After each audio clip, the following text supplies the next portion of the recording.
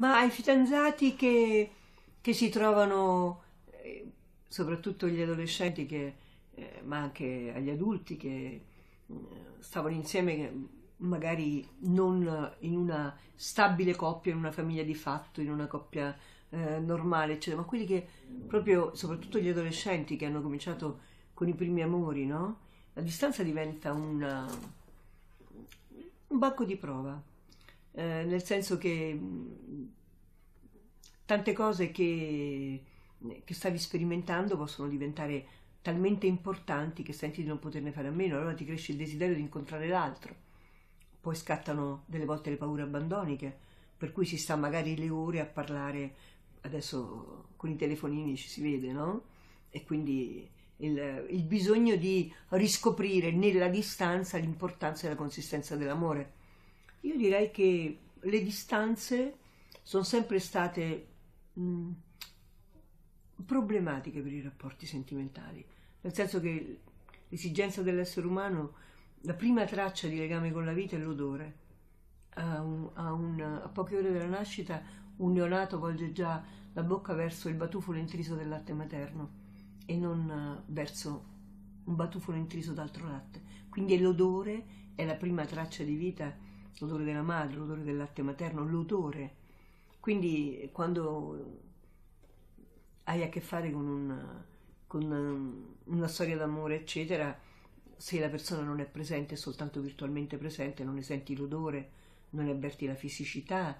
non, non puoi stendere una mano eh, per dare un abbraccio alcune cose vengono salvate, la vista, ma non l'olfatto, ma non, ma non il contatto. Eh, e allora ecco, io direi che eh,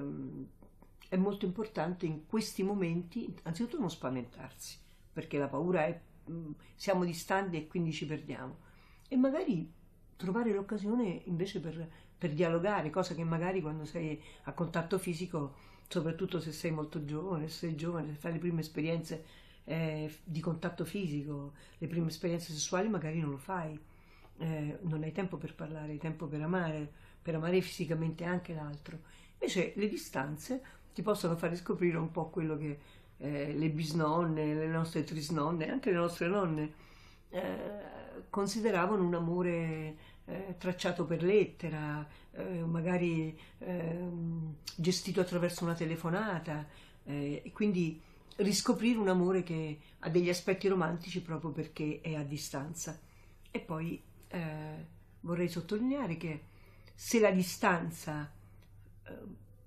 fa chiudere l'amore, fa finire l'amore, e io non me l'auguro non me l'auguro, beh, si tratta di un amore che non reggeva la distanza. E gli amori che non reggono la distanza significa che non sono entrati fino in fondo nell'immaginario, nel cuore e nel sentimento di una persona quindi hanno bisogno della, della, della presenza